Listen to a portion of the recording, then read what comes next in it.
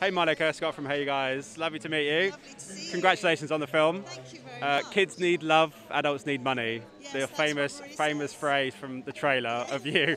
Um, how does that kind of sum up your character and your relationship with Roxanne in the film? I think it sums her up at the beginning. I mean, in in a way, she's. Um, it's something that she's saying because she needs to get Roxanne married off. You know, they're. Um, uh, I mean, not to not to take it too seriously, but there there aren't many options for women at that time, and um, Roxanne's very romantic, and somehow I suppose Marie's a sort of earthing figure, and and, and needs to kind of bring her down to earth, and is, is sort of hoping that she'll marry somebody rich, and actually kind of tries to orchestrate that situation.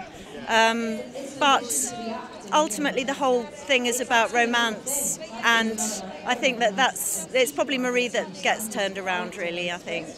There have been so many different adaptations of this material, but it says something about the material that it's been able to kind of be changed in certain ways without losing the essence of what the story is about. Did you feel that when you were on part of this project?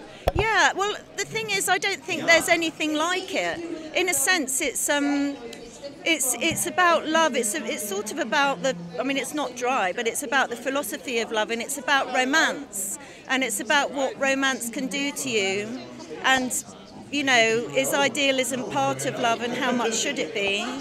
And um, yeah, it, it it looks at that. It's fa- it finds a way of looking at that in a way that nothing else that I know does. So, sort of, there aren't that many people actually in love in it. For the, for the amount that it talks about love, you know, it's all a big debate, I suppose, whether unrequited love is love at all. But anyway, you'll have to see it.